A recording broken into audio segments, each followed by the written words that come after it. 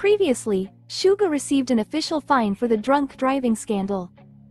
On September 27, the Seoul Western District Court decided to fine Suga 15 million won, tilde 283 million Vietnamese dongs, related to the accusation of drunk driving under the road traffic law. This fine is equivalent to the amount that the prosecutor had previously requested. This fine decision was made in the case of a relatively minor violation, only requiring a review of documents without a direct trial. If Suga does not agree with this decision, he can request an official trial within seven days from the date of receiving the notice.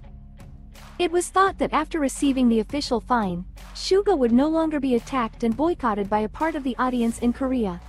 However, recently, the online community was stirred up when HYBE headquarters continued to receive many wreaths sent by Korean fans, asking member Suga to leave BTS because of the previous noise.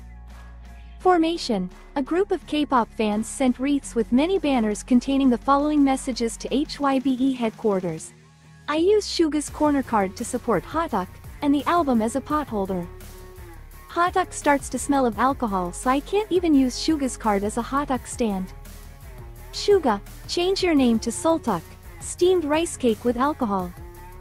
Suga, whose alcohol test result was 0.227, was arrested by the police for tripping on the street. I propose zero sugar, sugar, suga. Bang Si Hyuk's meat juice diet has failed. Quickly eliminate criminal Suga. A criminal who doesn't belong on stage. HYBE, a company run by college graduates and supported by ex-convicts.